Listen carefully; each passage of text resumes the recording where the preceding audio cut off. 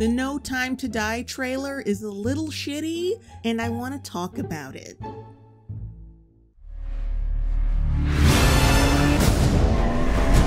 Why would I betray you? We all have our secrets. We just didn't get to yours yet. Uh, this is the cheesiest line delivery in Bond history. Why would I betray you? We all have our secrets. We just didn't get to yours yet. this is totally different compared to how he's performed in the other movies. Why don't you try putting that in a sentence? Like maybe, sorry Le Chiffre's gonna win, continue funding terror and killing innocent people. That kind of sorry? You lost because of your ego. And that same ego can't take it. That's what this is about. Well, then you're an idiot. I'm sorry? I said you're a bloody idiot. Why would I betray you? We all have our secrets. We just didn't get to yours yet. I'm not a fan. Also, it's kind of funny when the actor in the film has dirt all over his face, but his teeth are sparkling white. Ralph Fiennes deliberately puffing his chest out. I need a favor, brother. You're the only one I trust for this. I got the scoop on the new Batman movie. You a double O? Two years. So stay in your lane. Oh god, no! We went from "Oh no, I, Mr. Bond, I expect you to die" to "Stay in your lane." You get in my way, I will put a bullet in your knee. The one that works. All right, where to begin with this? The cringy, overly modern dialogue. Uh, oh, I don't want to hear that thottery in this franchise. It's like the Smurfs in, in the Smurf movies dabbing or whatever. Just don't do that. And oh, I'll put a bullet in your knee, the one that works. Oh yeah, James Bond, he's so old. A regular gray meat Martinez. Practically a corpse. It seems to me like they've called Bond back in for a mission the same time they assigned her. Isn't that like problematic to have two different agents totally unaware of each other on the same assignment? I mean, what the fuck? I mean, I'm just, it's just an assumption from the trailer. But, you know, what else can I possibly decipher from this? The world's moved on, Commander Bond. The world's moved on from what exactly? Terrorism?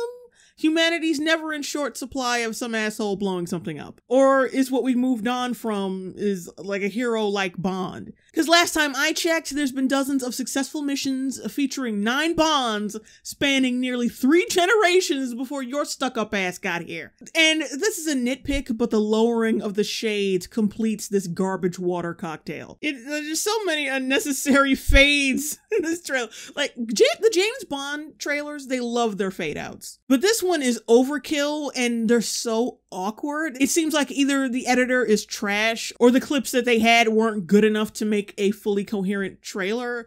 Name? Bond.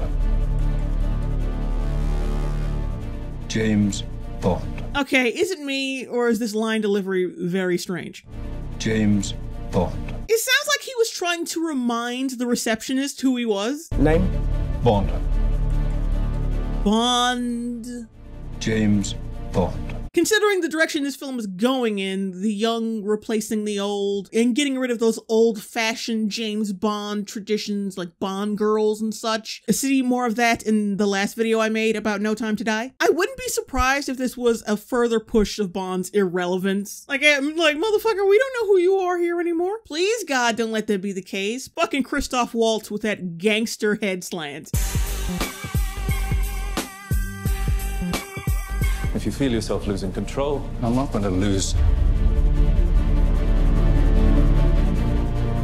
control. All right, this, little, this uh, that was a little corny. That was a little network television-ish. Also, he was so shocked to see the chick uh, he's married to at the place that he works or used to work. And did y'all just kind of give away that she died in that opening chase scene, and now he's seeing her back alive in front of his face, and that's why he looks so surprised? Please tell me y'all just didn't give away a fucking twist. Y'all gave away a gigantic twist in your trailer, didn't you?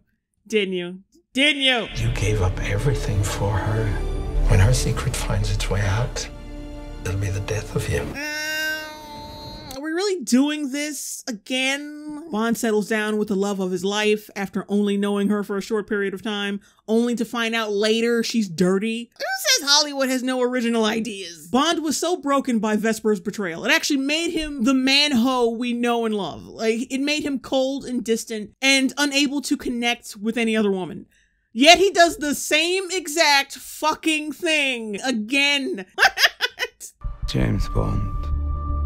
License to Kill. License to Kill. That was another Bond movie. History of violence. Well, uh, well, that was more of a Viggo Mortensen movie. History isn't kind to men who play God. Okay, Rami Malek looks really good at uh, turning his head menacingly to the right. As a villain, that I don't know. We're, we're gonna have to see.